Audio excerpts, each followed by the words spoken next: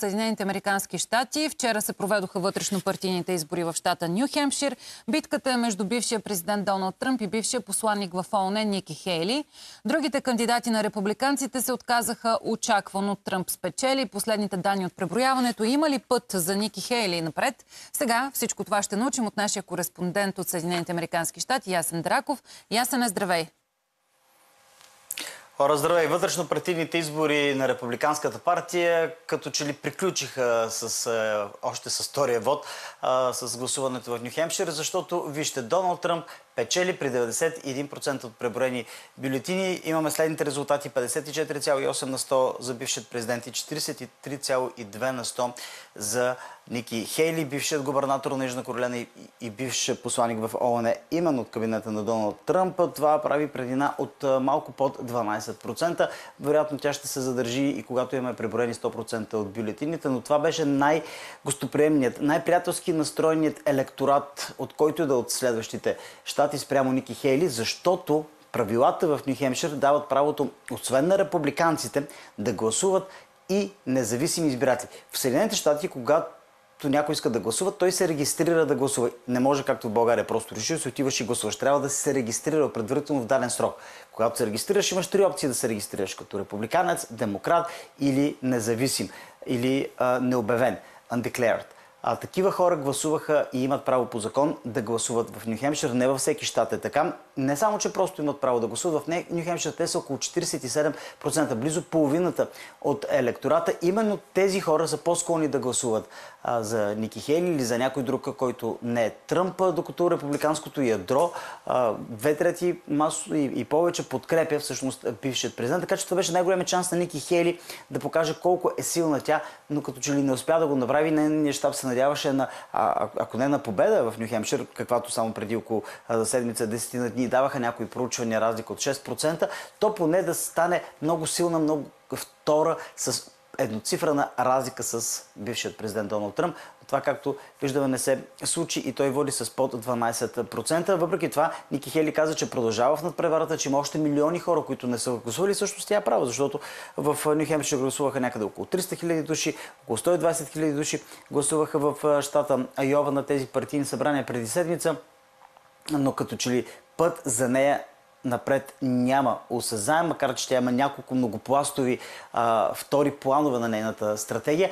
Но Доналд Тръмп, който излезе да говори тази вечер, беше различен от този Доналд Тръмп само от преди седмица в а, Айова, за който ви разказах, че беше много а, така, приятен образ на семейен човек. Напротив, още с първото си изречение той започна атаките срещу Ники Хейли. Подиграй се за нейната реч, която той определи като победна, пък всъщност той е водил с около 14 точки пред нея. И а, ни даде вкус на стария Доналд Тръмп, този, който сме свикнали да виждаме как се саморазправя с опонентите си и това, на което ще подложи Ники Хейли в следващите 4 седмици до изборите в Южна Каролина, които са следващи в календара. Но нека да чуем малко от двамата.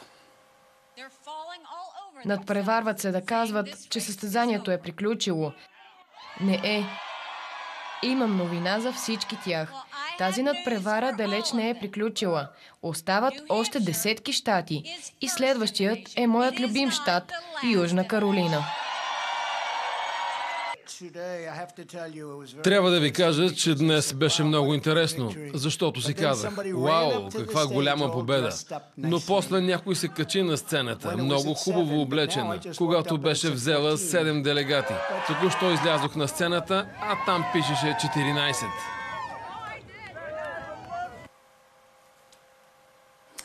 Окей, okay, това бяха така, сентенциите на двете речи след обявяването на резултатите в Нью Хемшир и усетихте този тон, предполагам, на Доналд Тръмп. Това, което предстои на Ники Хели следващият един месец преди изборите в Южна Каролина ще бъде брутално. Тя а, и, и щабо, и Организациите, които я подкрепят, така наречените Супер Пакс, имат достатъчно пари, достатъчно ресурси, за да продължат напред до Южна Каролина на 24 февруари, след което на 5 март, когато Супер вторник гласуват около 20 на щата, една трета от делегатите, които ще изберат на партийната конференция, кой да бъде кандидат на Републиканската партия, се разпределят тогава. Въпросът е обаче дали наистина има път, защото последни проучвания, които сме гледали от Южна Каролина, макар и не са много актуални, дават на Доналд Тръмп предина от около 30%. Представете си, щат, в в който Ники Хели е била успешен губернатор, два мандата, в който обаче Републиканската партия и представителите на Републиканската партия, като сенатори, конгресмени, губернаторът, всички в купа масово подкрепят Доналд Тръмп. И да отидеш в твоя щат и да не успееш да спечелиш, или да не станеш отново много силен, втория, да имаш предина от 20-30%, ще бъде изключително унизително за Ники Хели, особено седмица преди в супер вторника, който е на 5 март.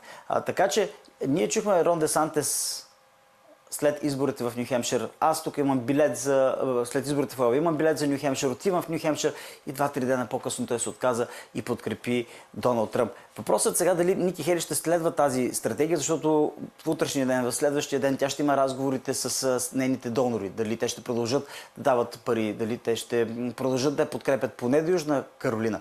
И вътре с нейния щаб, дали данните, показва, че има някакъв път за нея. Защото в Южна Каролина тя не може да отиде и да каже, ето аз съм нещо, някой нов, чуйте от мен и в рамките на този един месец да обърне резултата. Хората в, в, Северна, в Южна Каролина подкрепят а, и, и познават много добре Ники Хели и едва ли ще има а, какво ново тя да им каже за себе си, което те да не знаят и което да обърне драматично тази плюс 30% предина, която има Доналд Тръп. И въпреки това, тук има няколко а, допълнителни пласта, които може би играят в Ник Хели. Тя в момента ще започне тази много внимателна роля, а, балетна роля, ако мога така да я кажа, в която се позиционира като приемлив заместник на Доналд Тръмп в случай, че преди партийната конференция на републиканците, която е в средата на месец юли в Милоки, щата Уисконсин, се случи нещо, което да направи Доналд Тръмп труден за избиране на генералните на същинските избори през ноември, като например присъда. Знаете, срещу него има 91 обвинения в 4 различни криминални дела. Някои от тях би трябвало да започнат в началото на март срещу Доналд Тръмп и е реалистично да видим, че има присъда срещу Доналд Тръмп. А една трета от избирателите в Айова и около 41-2% тук в Нью Хемшир казват, че присъда срещу Доналд Тръмп за угловно престъпление – по някои от тези 91 обвинения, всъщност го дисквалифицира да бъде президент. И това са само републиканските избиратели. Представете си, тази, тази цифра е много по-висока сред тези а, избиратели, които си сменят мнението за кого гласуват а, от избори на избори, дали за демократи или за републиканци. Така че това ще го направи изключително труден а, ще направи неговата победа изключително трудна през ноември. Така че тя се опитва да изиграе тази роля. Хем от една страна да натрупа достатъчно много делегати, за да може да каже на партийната конференция, вижте, аз имам достатъчно делегати, доста хора са гласували за мен, независимите избиратели ме подкрепят най-много. И от друга страна да не вбеси Доналд Тръмп, да не вбеси неговото ядро и политическият елит на републиканската партия, че те да могат да я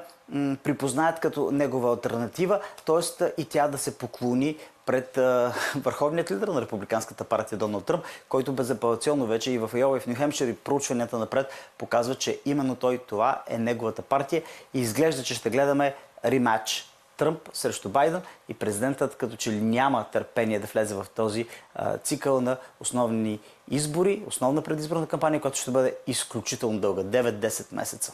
И очакваме и ние същинската кампания, когато ще имаме още по-чести включвания с теб, надявам се, а, да се отзоваваш, защото изключителни ключови избори в Съединените Американски щати предстоят през ноември. И да, март месец стартират процесите срещу Доналд Тръмп, което допълнително ще направи картината още по-динамична и интересна. Благодаря ти, Ясен Дараков, нашия кореспондент от Съединените Американски щати, с последна информация за предварителните избори, които текат в този момент момента в различни щати в Съединените Американски щати. Сега отиваме към една реклама и се връщаме обратно тук с поглед към пленарната зала. Казахме ви и ви показахме част от дискусиите, които започнаха. Темата в началото е оставката на Десислава Атанасова като депутат, за да може да заеме а, позицията конституционен съдия, както и отредиха народните представители преди дни.